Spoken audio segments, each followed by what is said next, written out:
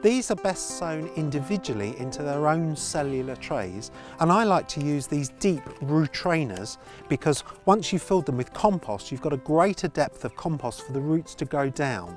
And because the sweet peas, if you sow them in autumn or in early spring, because they're going to be in these containers for a long time, you want them to make lots of good penetrative root growth. So sweet peas and ordinary garden peas can be sown in exactly the same way.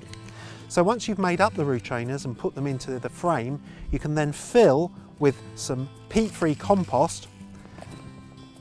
So just make sure that you fill right to the top and overfill at this stage and then use your hand to saw through the centre of the root trainers and then scrape it off so that you've got it level finished and start in the middle and move to the side so that you don't compress the compost at either end and once you've got them filled like that, one, two, three taps, and you've consolidated the compost ready for sowing.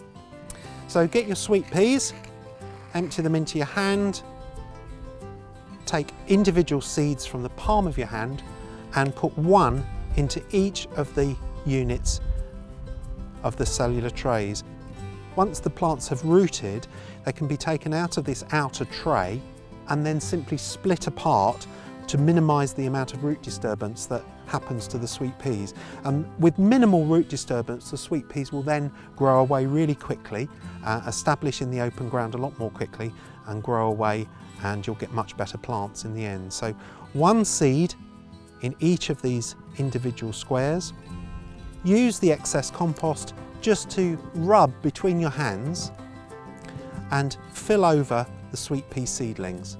Now the beauty of doing it like this, putting the sweet pea seeds on the surface of that compost rather than pushing them into the compost, is that the seedlings won't push themselves out of the compost. You'll get a much better, stronger seedling uh, and they'll grow away really well. So just make sure you've covered them all up like that and just strike off the excess.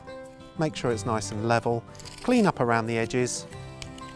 Water those uh, and then put them in a cool greenhouse or on a cool windowsill in a conservatory uh, and they'll germinate. And then if you do that in the autumn they'll germinate and come through the winter and then you can plant them out in the spring. If you do it in the spring then simply put them out. As soon as they've germinated plant them out in about April. So that's sweet peas